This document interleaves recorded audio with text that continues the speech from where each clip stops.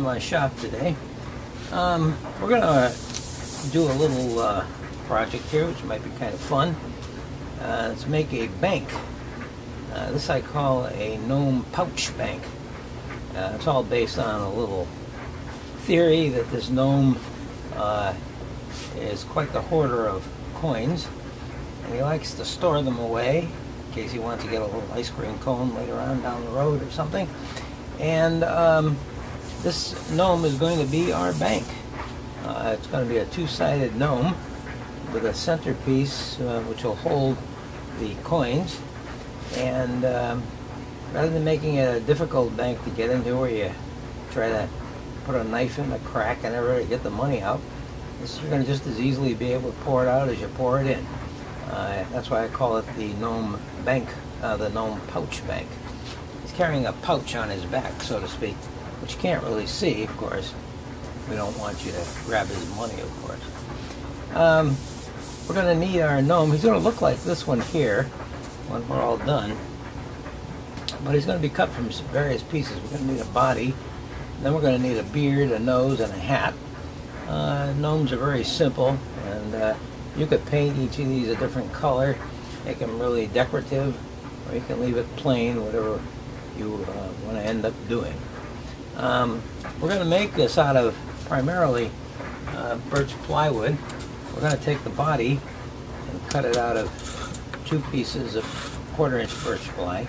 And this, of course, is um, uh, going to be one for each side of the bank. And then we're going to need his beard. We're going to need two beards too, of course. We're going to need two hats and two noses. And we're going to need a centerpiece, uh, which is going to be cut from another little pattern. Uh, we're going to cut that out of a piece of oak that makes a good sturdy uh, base to drop our coins in. Um, if you like this pattern and you like this project and you want to get this pattern, you can get it from my Etsy store as usual.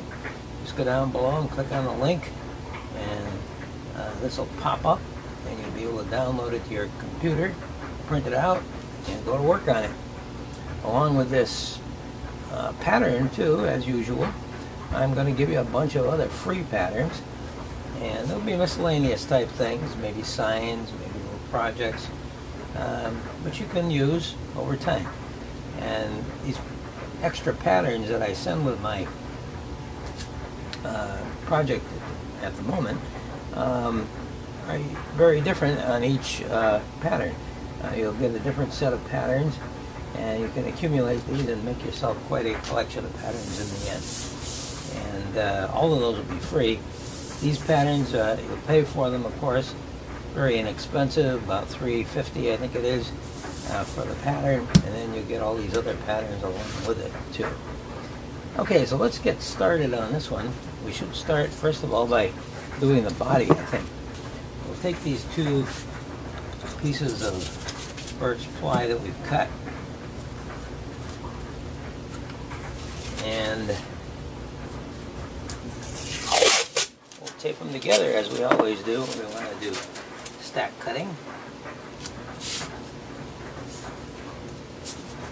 It's going to be a small bank, mainly just for collecting coins for a period of time then enjoying the use of them. Maybe buy yourself a little ice cream cone, candy bar, package of gum, trading cards. Makes a good little gift bank for a child. Okay, that's easy enough. As usual, we take our pattern and gob it up with our glue stick.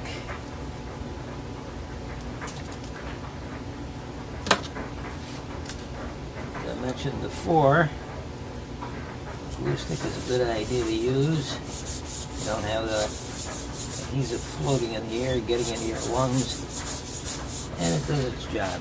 I tape it down to um, painter's tape, which you can pick up quite inexpensively, and then just peel the whole shebang off after you're done.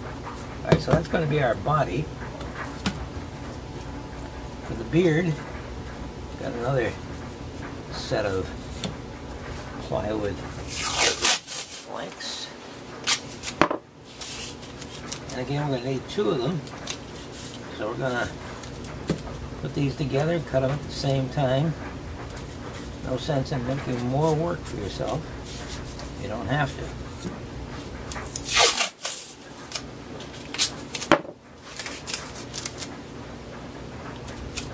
Alright, that's nice and easy. Same thing with our beard. Good and sticky.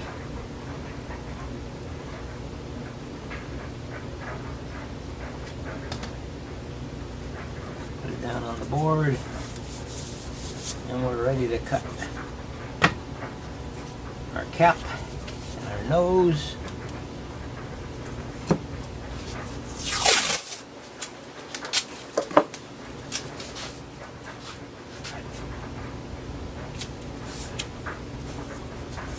That on there.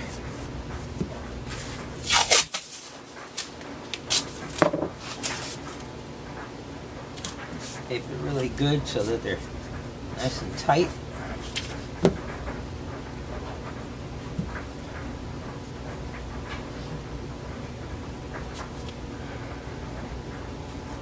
And we'll put our cap on here along with the nose. We'll be cutting them both out at the same time, of course. I don't think we're going to need any uh, internal cuts on any of these. That there. And then finally our a nice heavy duty piece of oak to give us some nice walls. We're done with this. This especially you want to put the tape on because the tape will help lubricate your blade. And you want this thing to cut through here as smoothly as possible. And it's a small cut, so it shouldn't be too difficult. Basically, what we're going to do is get a frame when we're done with this from this pattern. We're going to cut around the inside and the outside. And this is going to be put between our bodies of the uh, gnome. And that's going to be the sack that he's carrying. The sack almost has the same shape as himself. Okay, we're going to start by cutting out the two back bodies of the gnome. We're going to glue everything down on this, so it's got to be good and solid. Um, I'm using a number five reverse tooth blade as usual. Does a good enough job. Here we go.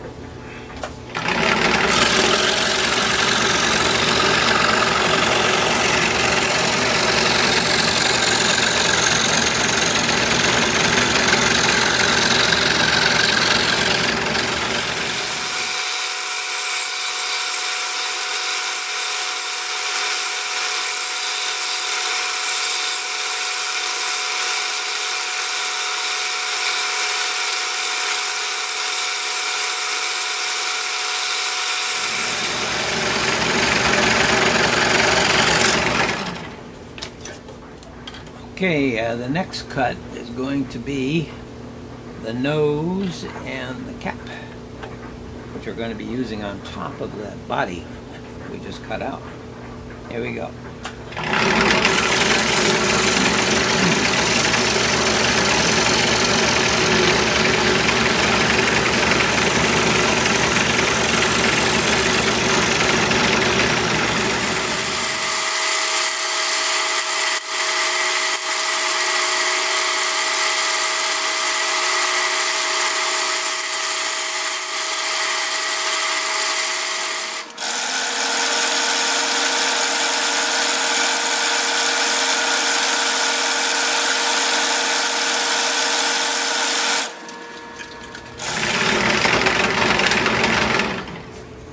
And for the last plywood cut, we're going to do the beard. Again, same blade. Let's go to work.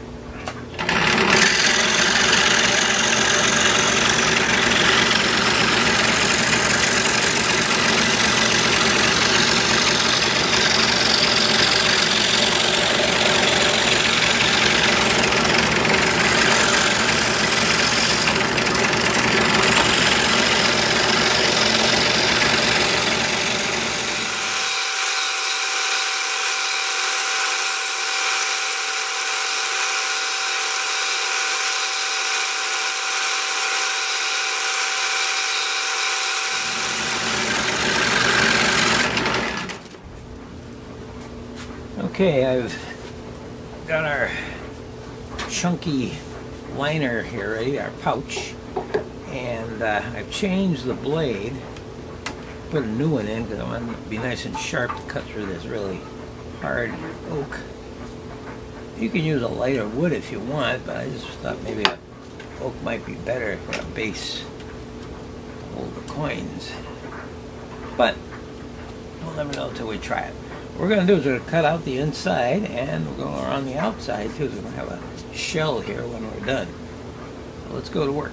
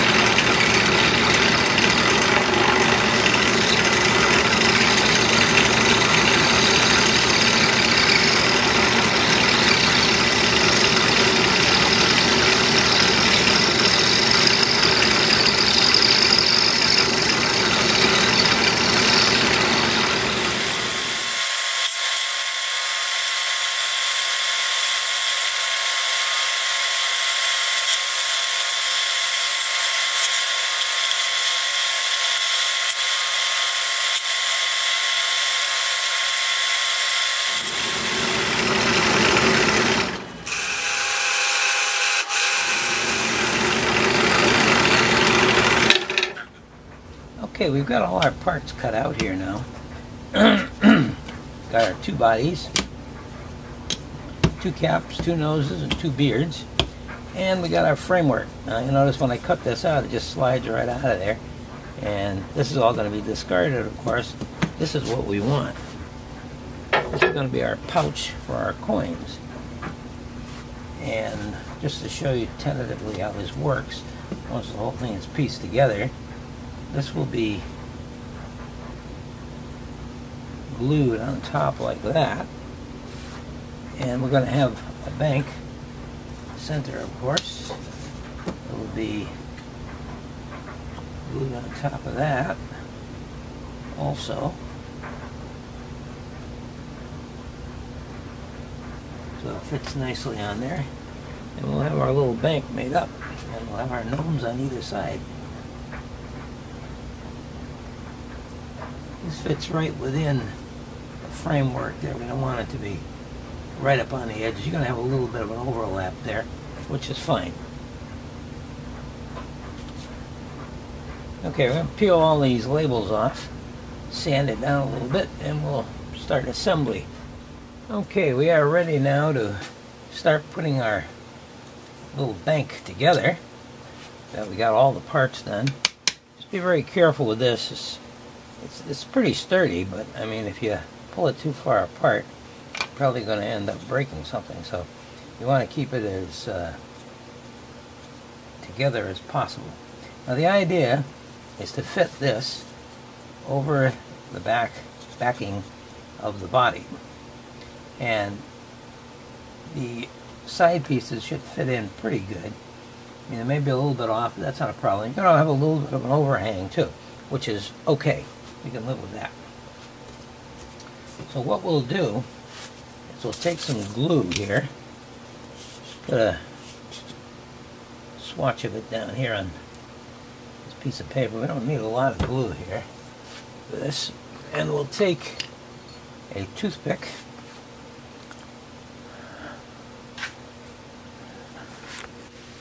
back this off a little bit so you can see what I'm doing. Take a toothpick and we'll flip this over just for now and we'll put some glue all along the edges of this framework.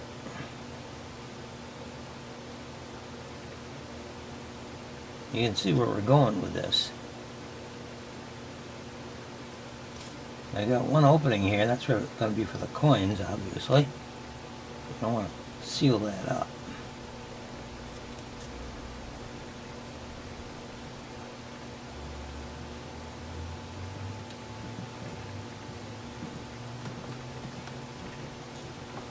Get a generous amount around the edges here.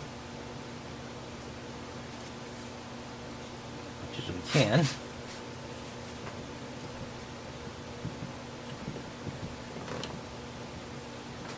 After you got that done, you want to rub it with your finger probably, or if you don't want to get your finger gooey, a little piece of paper or wood or something like that to get it nice and sticky there. And then it's just a matter of laying it down atop the backboard. Okay, we'll try to get it as nicely organized. Try to keep the bottom part level and get all your framed areas in there. Okay, that works pretty good. Alright, now we do the same thing with the top part. Taking our glue again and generously painting this. You're going to need a little more glue on this, I think.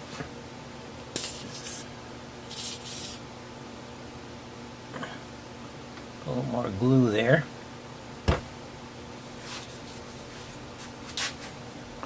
Hopefully we can see what we're doing here.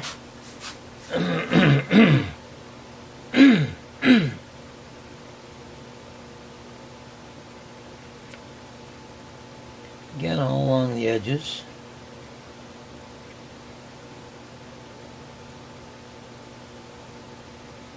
Doesn't matter where you start start anywhere you like.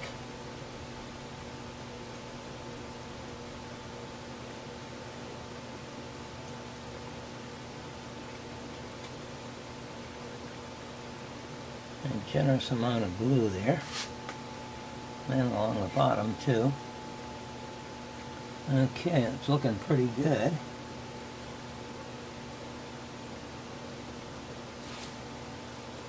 And now we take the other body shape and put it, oops, wrong way. Oh, that's right. There we go. Put that on top. And we're going to want to get a piece of flat wood here.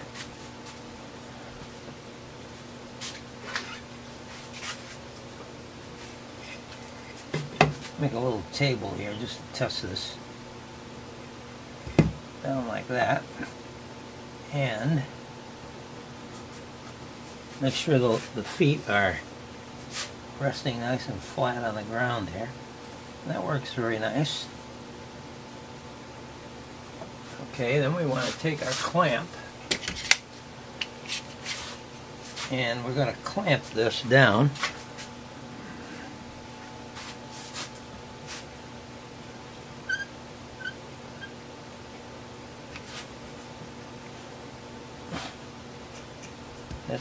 snugly on there. And snugly on the other side too.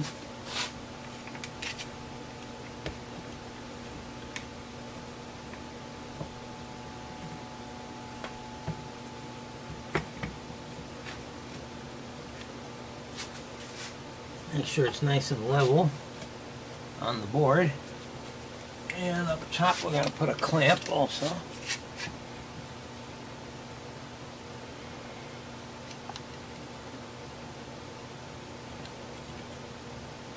That side. And on the other side, also want to put a clamp.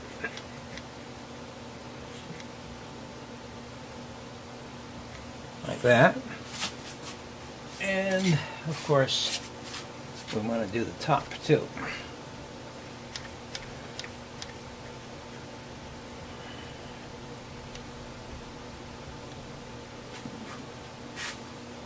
All right, let's back this off and you can see what a Galo little piece we've got here.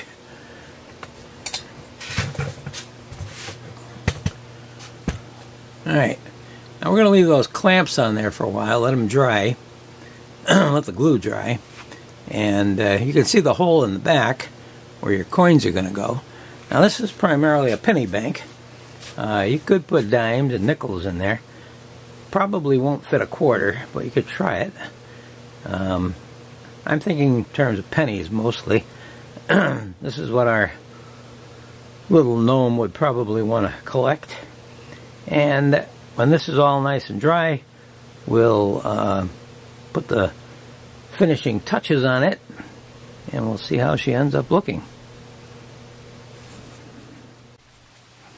Okay, decided to paint the uh, gnome up a little bit. You can paint it any way you want, of course, or leave it plain. But I thought I'd try some colors.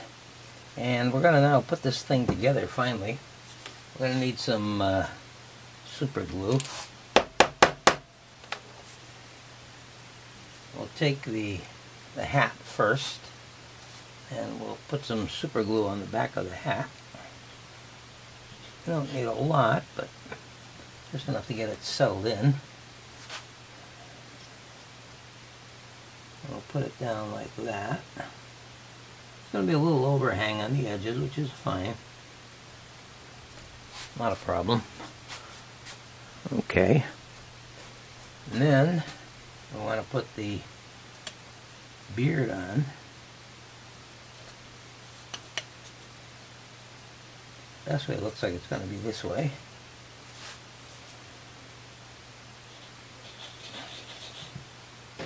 Some more glue on the spot. want to have his shoes showing underneath, which they are. And we'll need a nose right there somewhere. You'll take one of these black noses and we can put it right I'll put it just a little bit above the crack in the hat and the beard that makes them look pretty good. Okay now do the other side just flip this over. I think the glue will hold in place well enough. You can just turn it over like this. Put a little uh, piece on the bottom there to level it out. And we do the same thing to the side.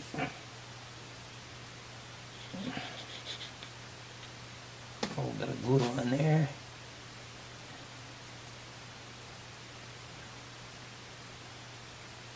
On top of our frame.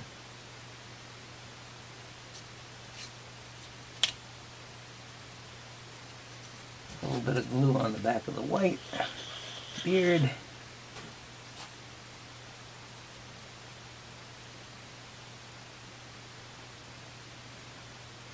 Good. And another nose.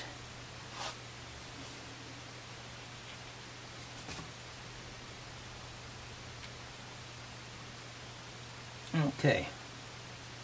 Looks pretty good. seems to be holding. Clean that up a little bit.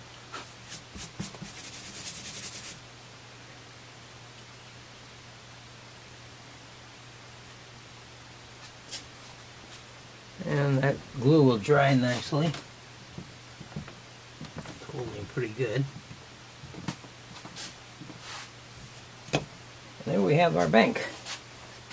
Let's get a side shot of this. There he is. He's all set to go. Now you can put, uh, you can do different colors, of course. Um, and it'll work just as well. You can decorate it any way you like. Uh, you can put your coins in. This is made for pennies, by the way. Doing this backwards, but get on the other side. Okay, this is made for uh, pennies.